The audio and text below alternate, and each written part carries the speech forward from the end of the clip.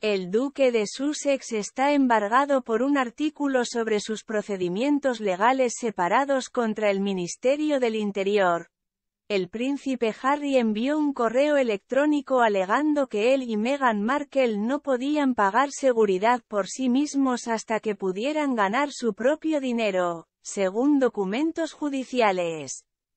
Harry y Meghan perdieron su protección policial financiada con fondos públicos en el Reino Unido cuando renunciaron como miembros de la realeza y se mudaron a América del Norte en 2020. Un tribunal escuchó que en un correo electrónico al secretario privado de Isabel II, Sir Edward Young, en abril de 2020, Harry lo dejó en claro.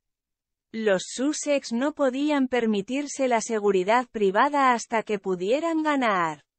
El mensaje fue divulgado en documentos que forman parte del intento de Harry de dictaminar que Associated Newspapers, editor del Mail on Sunday, lo calumnió en un artículo sobre su búsqueda de protección policial cuando él y su familia visitan Gran Bretaña. El duque de Sussex está demandando a la editorial Associated Newspapers Ltd. ANL, por un artículo que alega que trató de silenciar su desafío legal por separado sobre la negativa del gobierno a permitirle pagar la seguridad policial. ANL impugna el reclamo, argumentando que el artículo expresó una opinión honesta y no causó daño grave a la reputación de Harry.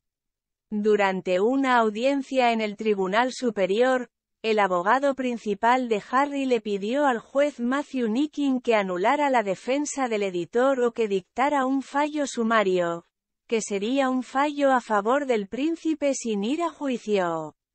El abogado Justin Rushbrook dijo que los hechos no respaldaban la defensa sustantiva alegada del editor de que el artículo expresaba una opinión honesta.